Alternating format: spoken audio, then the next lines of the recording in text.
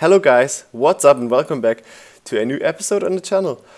Today we are talking about Sketch version 41, which is bringing us many new features and a like small redesign also that is kind of nice because finally we have such a flat uh, icon for Sketch. We have new icons in general, this new startup screen which is really great. A lot of times when I open up Sketch I usually went up here and said I want to open one of my recent files. Now I'm able to just select it from one of these right here and you can also just go for your templates.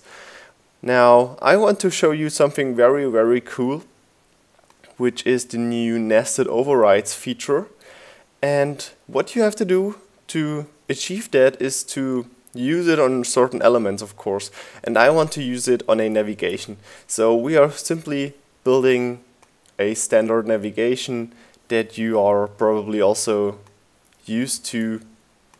So you have your, for example, your home link, your about link, and you have your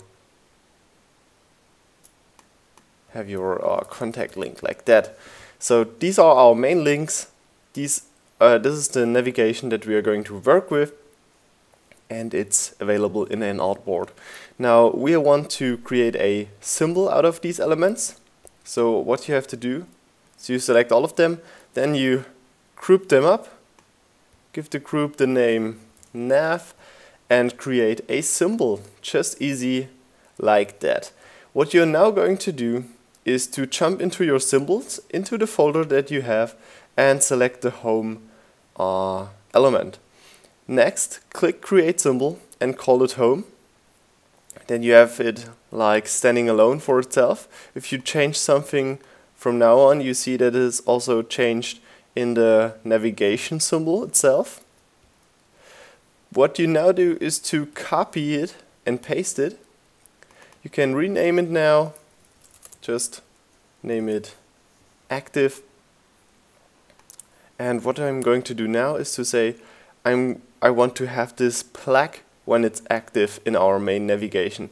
But you see it's still like inactive right here and inactive in our main navigation. Now let's jump back to our page where we have our navigation available. Select the symbol and right now you see overrides and this is the new feature that we are having right now in Sketch version 41. You can select now you want to have the home active. So you see it just simply change to the active tab that we uh, just created in our symbols.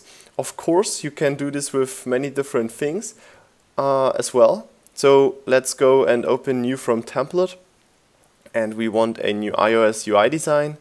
It's opening this up and usually you know that we have uh, these tab bars in iOS and I'm just trying to find one of them in this uh, template. Not seeing any, ah, right there, okay. Okay, yeah, right here it is. You see that this is the bottom bar and let me just copy it into our example file to show you how it's working or let me just create a new one real quick. So we have the bottom bar right here. This is basically the bottom bar that you are using in all of your iOS apps. Now let's jump to the to the navigation right here. And what we are going to do now is to select one of these elements for example 2 and we copy it. Ah sorry not we copy it. We create a symbol out of it. Group 2 now we have it right here. Now we copy it. And now you are able to just do the things that you already did before now. For example, just selecting the blue color right here for the for the element and we have to actually change the font just for our testing purposes and we want to have it blue as well.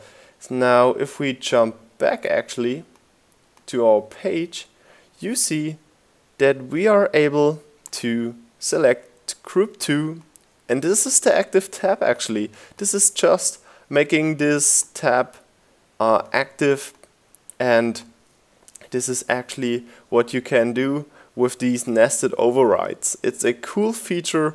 It really improves working with navigations and you can of course also expand this and work with this feature on different screens and on other uh, principles that need the support of these different states.